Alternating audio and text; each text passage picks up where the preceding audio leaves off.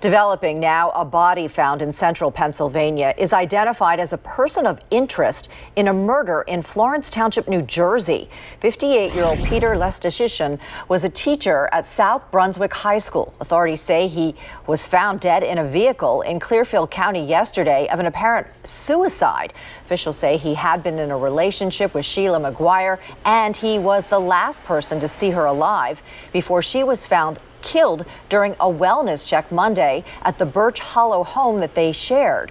While he is a person of interest in McGuire's homicide, authorities say there is no evidence linking him to the crime, but the investigation is continuing.